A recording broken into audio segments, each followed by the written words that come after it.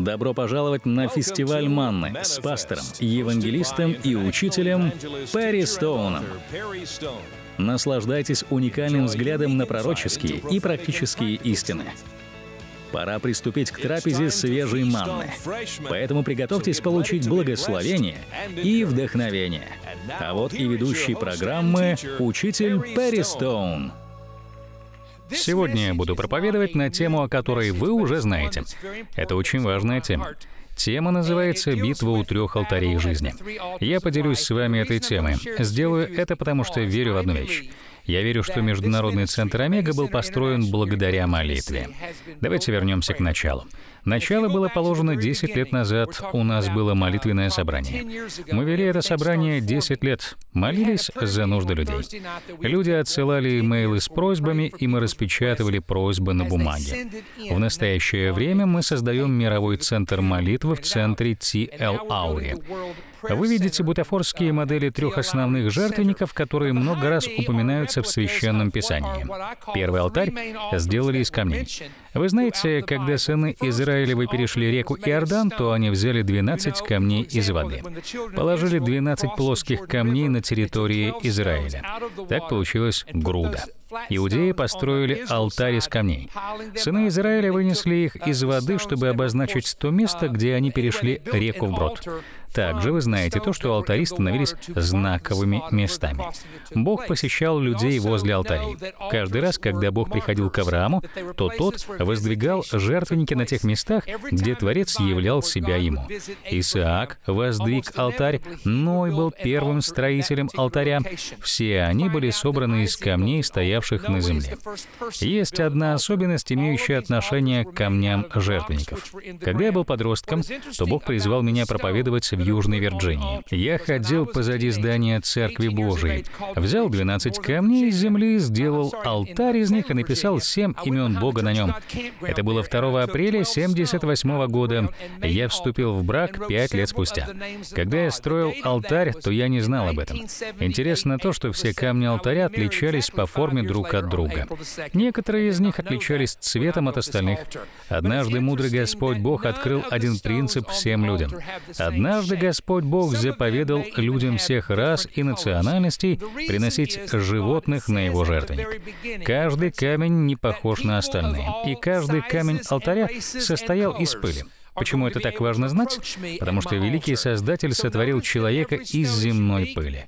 Бог вдохнул в него дыхание жизни, и человек стал живой душой.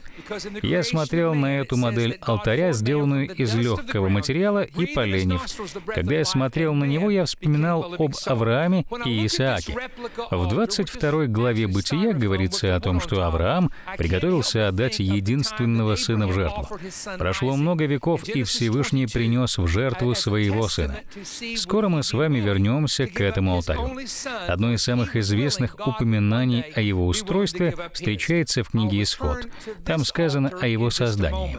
Тогда скиния Моисея стояла в пустыне. В то время Моисеева скиния находилась в Силоме. Мы встречаем тот же самый предмет храмовой утвари, читая о храме, который Соломон построил в Иерусалиме. Итак, ширина жертвенника составляла примерно два с лишним метра в ширину, длина алтаря — два с лишним метра. Высота составляла почти полтора метра. Мы сделали его уменьшенную модель, соразмерную нашей сцене. Почему на этом алтаре лежит решетка? Решетка, потому что священники складывали жертвенных животных на нее. Когда животные сгорали, тогда пепел падал через решетку в нижнюю часть алтаря. Он скапливался на дне. Служители вставали утром и поднимали решетку.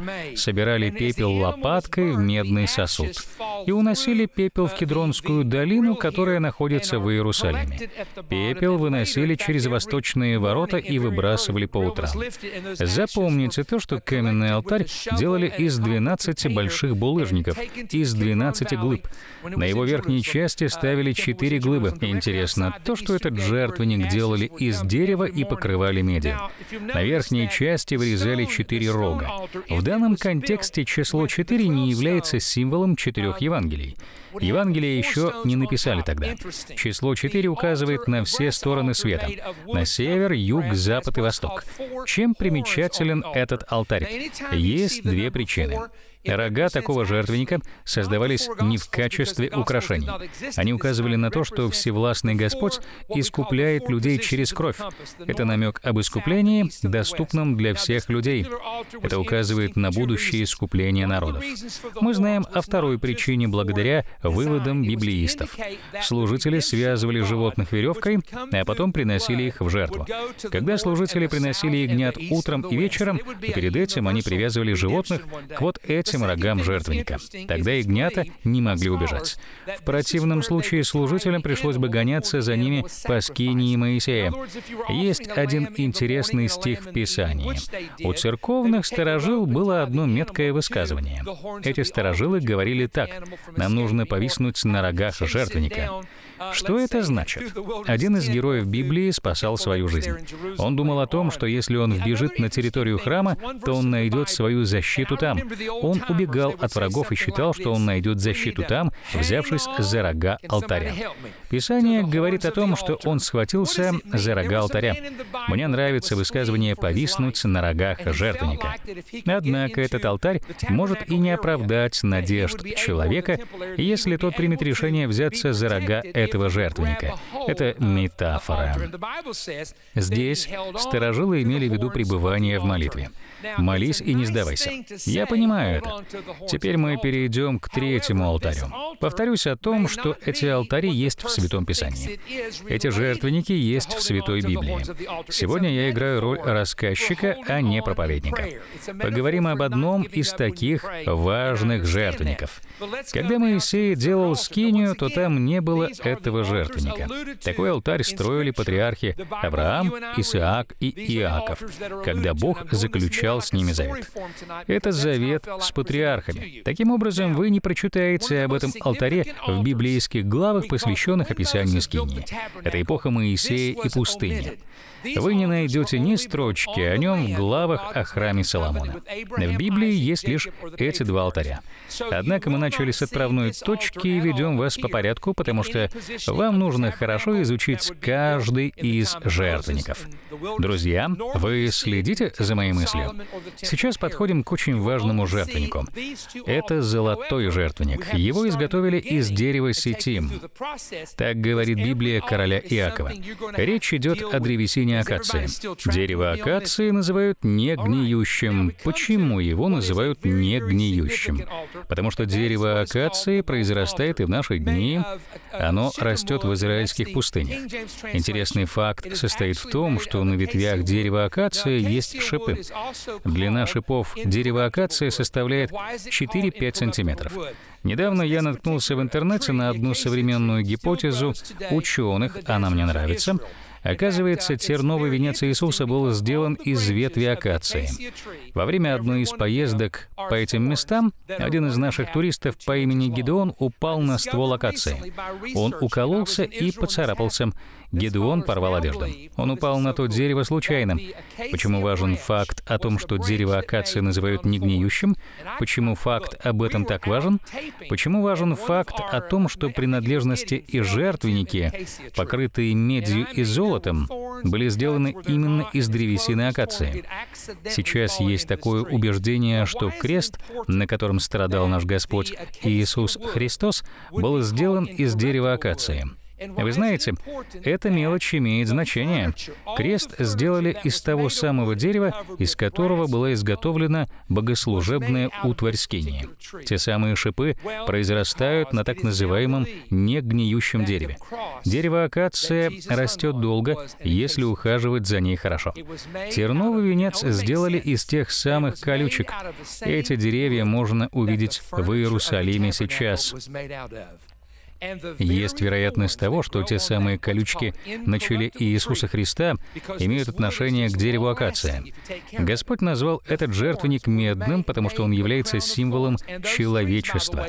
Он назвал этот алтарь золотым. Он — символ божества. Теперь представьте себе ситуацию. Если бы нам с вами довелось войти в скинию, то первым объектом, который мы увидели бы, стал этот медный алтарь. Мы увидели бы его у входа. Позади медного медного жертвенника стояла умывальница для священников.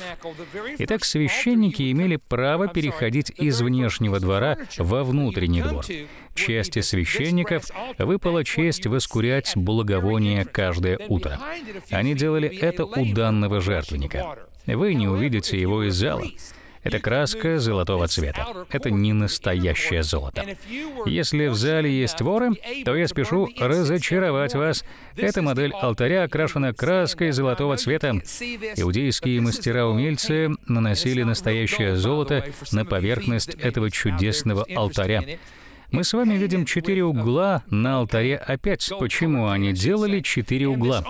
Животные не стояли здесь. Все они находились во внешнем дворе. Один раз в год священник кропил кровь животного, предназначенного для искупления всего народа, на этот жертвенник. Он делал это раз в год. Священник приносил кровь в чаше. Итак, священники молились, стоя лицом на север. Потом священники поворачивались на юг, потом на восток, а потом на запад, на четыре стороны света. Я хочу отметить, что алтарь — это символ поля битвы. Люди подходили к каменному алтарю.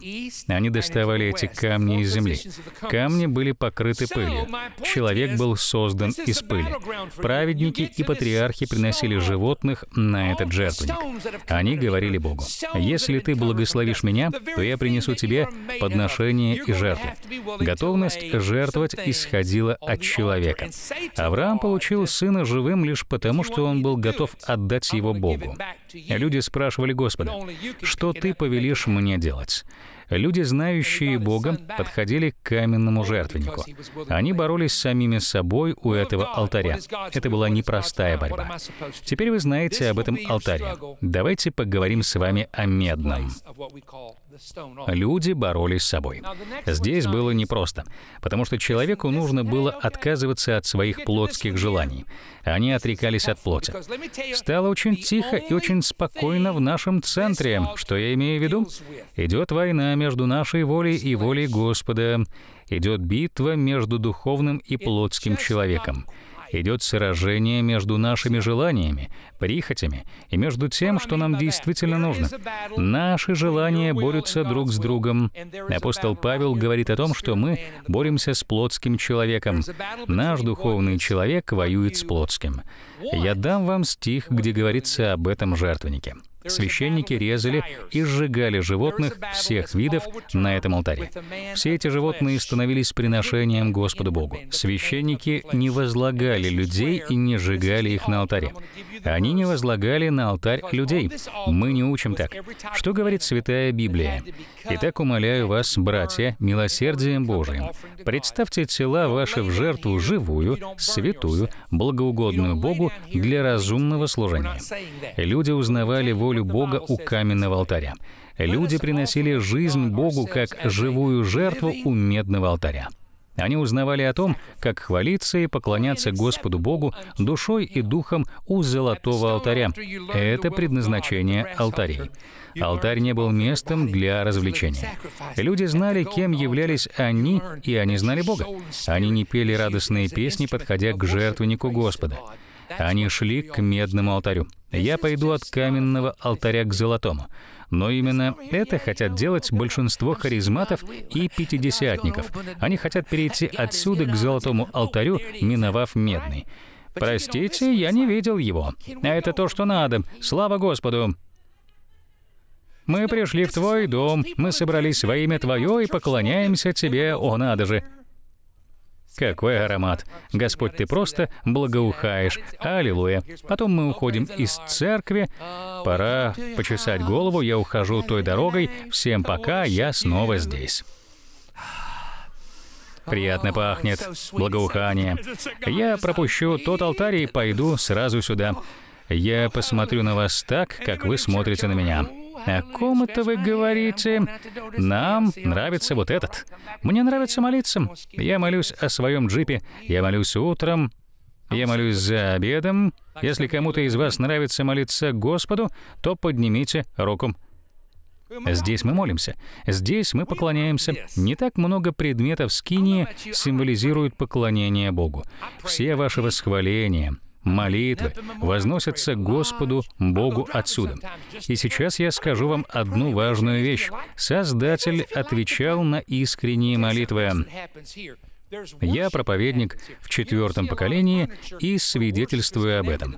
Мой отец молился. Он видел чудеса исцеления неизлечимо больных людей. Раскрою вам секрет. Самый быстрый путь получить ответ там — это согласиться с волей Бога здесь. Находишься ли ты в нужном месте и в нужное время? Послушан ли ты Богу во всем, что Он сказал? Современные харизматы, пятидесятники, баптисты хотят делать то, что делать нельзя. Они хотят перейти от исполнения воли Бога к поклонению, к восхвалению, к молитве сразу. Ты не слышишь проповеди о покаянии в церкви, потому что всех коробит от этой проповеди. Проповедник, который водится настроением прихожан, не желает, чтобы они почувствовали дискомфорт. Но проблема в том, что люди ходят в церковь годами и борются с одними и теми же грехами снова и снова. Они обещают Богу не грешить. Они просят прощения у Господа. Они просят прощения через месяц. Я проповедую, но вы почему-то не слушаете. Мы не любим говорить о грехе, но я скажу вам то, о чем говорили всегда. Отделитесь от мира, отделитесь себя для Бога, живите для Господа, не давайте места миру. Бог видит то, как вы стараетесь остаться чистым. Я не сказал о том, что вы совершенны и не делаете ошибок. Я не призываю вас извиняться, потому что вы делаете все это постоянно. Я не говорю так. Я говорю о том, что Бог видит то, как вы стараетесь остаться чистым во что бы то ни стало. Вы хотите быть в правильном месте и в правильное время. Бог видит, что вы стараетесь хранить святость изо всех сил и жить для Него. Поэтому, когда вы попадете в проблемы и наступит критическая ситуация, вы воззовете к Нему. Ангелы Господа знают ваше имя. Ваше имя будет записано в небесной книге. Бог будет знать вас и место, где вы находитесь. Всемогущий Бог придет и поможет вам. Почему Он спасет вас? Потому что вы повиновались святым заповедям и исполняли предписания Господа Бога. Это жертвенник Господа. Это жертвенник Господа, на который вы должны лечь, как живая жертва.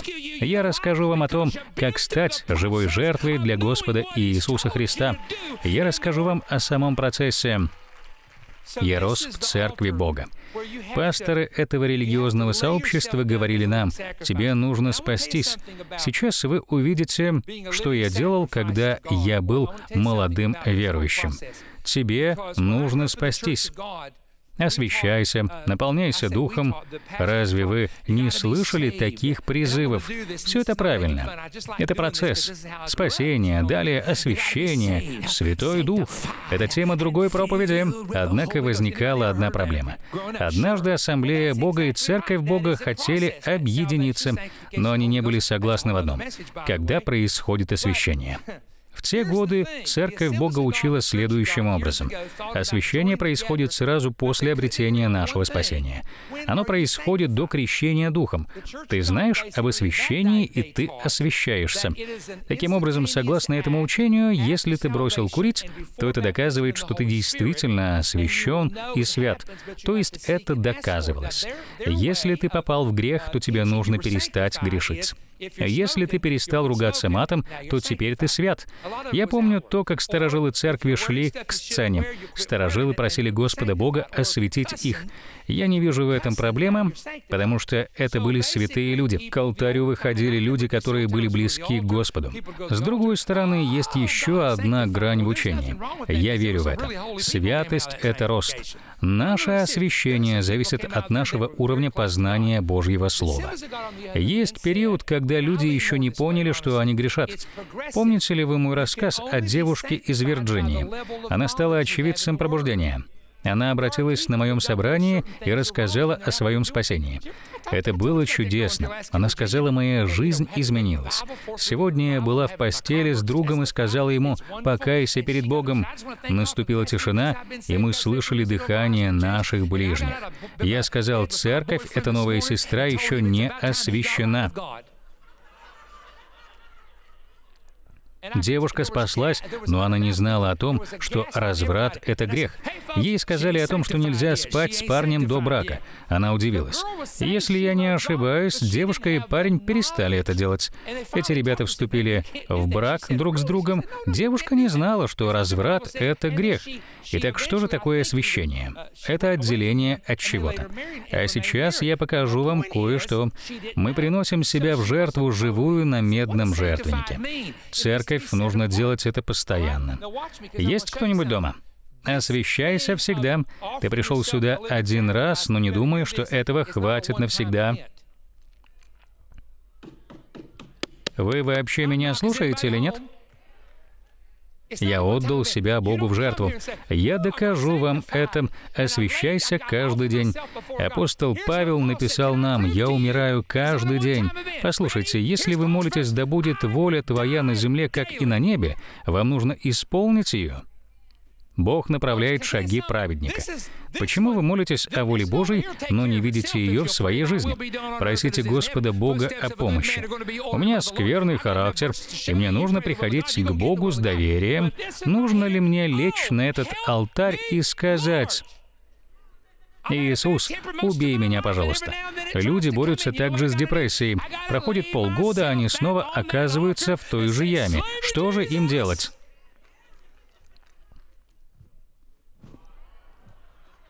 Вернитесь к медному алтарю и скажите, «Бог, я отдаю себя как живую жертву.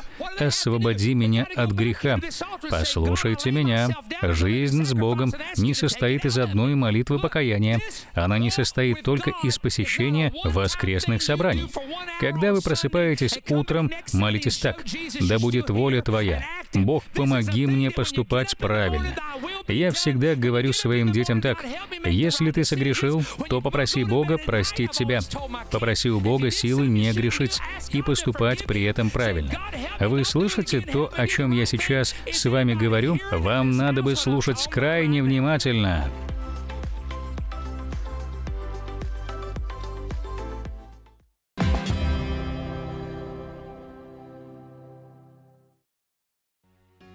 Часто христиане переживают много эмоций, моральных терзаний и живут в депрессии. Другим никак не принять свое исцеление. Некоторые не понимают, почему нет ответов на их молитвы. Если вам нужен абсолютный духовный прорыв, у меня есть инструмент. Я покажу вам, какие блокады и препятствия вы строите себе сами. К примеру, христиане постоянно обсуждают прошлые грехи тех, кто был прощен, и перешептываются об этом с другими верующими, что уже само по себе грех. В 18 главе Евангелия от Матфея Христос говорил, что такие поступки приводят в действие духов мучителей. Моя последняя книга — это самое понятное руководство, объясняющее, почему семь из десяти христиан живут ограниченной жизнью и как им обрести свободу. Я научу, в чем опасно сделать все правильно и что-то одно неправильно. Узнайте, какой опасный урок нужно усвоить у человека по имени Шемии. Узнайте, как христиане становятся печальными рыбаками, улавливая самих себя. Узнайте ошеломляющую историю об ангеле, который упрекнул служителя за обсуждение давно прощенных грехов своей жены. Как непрощение блокирует возможность принять свое исцеление. Узнайте секрет Христа о законе согласия двоих или троих. Я объясню, как христиане зачастую ежедневно становятся лжесвидетелями. Есть связь между прощением и возрастанием в вере. Еще одна важная глава — как простить в экстремальных случаях. Я расскажу, какие четыре вещи Бог позволяет вам осуждать. И, возможно, самая важная глава — когда Бог отменяет ваше будущее прощение. Вам нужно это знать. К книге мы прилагаем новый аудиосборник «Ключи к молитве заблудных детей».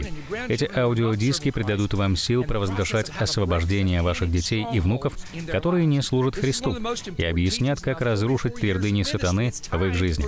Это одно из важнейших учений за все мои годы. Пришло время принять прорыв для всей вашей семьи. Моя новая книга «Рыбалка в море прощения» и аудиосборник «Ключи к молитве заблудных детей» доступны за пожертвование в 35 долларов или более. Вы можете сделать заказ на нашем веб-сайте, позвонить по телефону или написать на почтовый адрес. Это предложение F134. Если вы выполните инструкции в этой книге и последуете молитвенным принципам прорыва, вы совершите потрясающий духовный прорыв в своей жизни. Так что сделайте свой заказ уже сегодня. Многие не знают, почему у них нет прорыва и почему Бог не отвечает на их молитвы. Они не знают, почему они так слабы. Книга «Опасная рыбалка в море забывчивости» даст ответы на эти вопросы.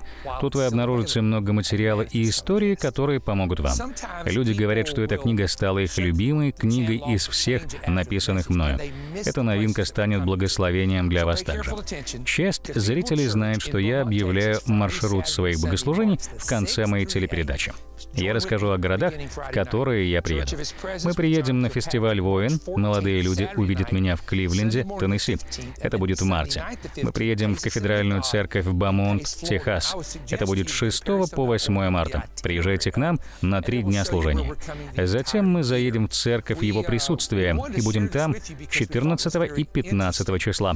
Также состоится пророческий саммит в Международном центре Омега. Он будет проходить в конце апреля. Не забудьте посетить нас, если вы живете в Су-Фоллс, Южная Дакота. Мы приедем к вам послужить в конце мая. Также мы приедем в Биллингс, штат Монтана, в июле месяце. Мы приедем с Линдоном Кули и его командой поклонения.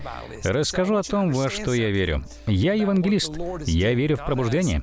Одни зрители видят во мне учителя тонкости культуры иудеи в Библии. Другие видят во мне пророка-проповедника, потому что Бог ведет меня в направлении проповеди о пророчествах Библии. Если вы не знаете о прошедших событиях моей биографии и о том, кем я являюсь, то вы не понимаете то, что я являюсь евангелистом. Я являюсь благовестником с 18 лет. Я помню пробуждения, которые длились от трех недель до двух с половиной месяцев каждый день. Господь спасал людей сотнями.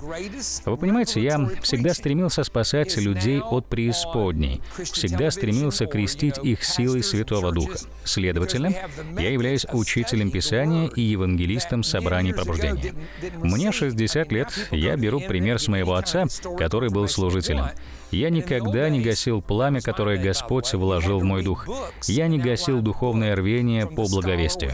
Я всегда стремился помогать поместным церквям расти в благодати, в познании и в силе Святого Духа. Есть часть людей, которые настроены враждебно. Они осуждают христианские телепередачи, осуждают тело Христа, критикуют всех, критикуют в Фейсбуке говорят плохие вещи. Тело Христа состоит из обыкновенных людей. Иногда обычные прихожане делают странные вещи. Иногда пасторы делают странные вещи. Я всегда хотел видеть пробуждение в Соединенных Штатах Америки. Всегда хотел этого. Меня приглашают проповедовать по всему миру. Я отклонил многие приглашения, я призван служить в Америке. Двадцатый год — это год выборов. Духовный мир активизируется и создает давление на людей. Это происходит во время выборов президента. Я наблюдаю за этим последние 20 лет. Не забывайте о главных вещах в жизни. Я имею в виду любовь, проповедь Евангелия и единство в церкви. Тогда Господь совершит чудеса. Перестон приглашает вас присоединиться к нему в туре по Израилю. Вы можете посетить город Петра в Иордании. Всю информацию вы можете получить по телефону, указанному на экране, либо на нашем веб-сайте. Места ограничены. Звоните прямо сейчас.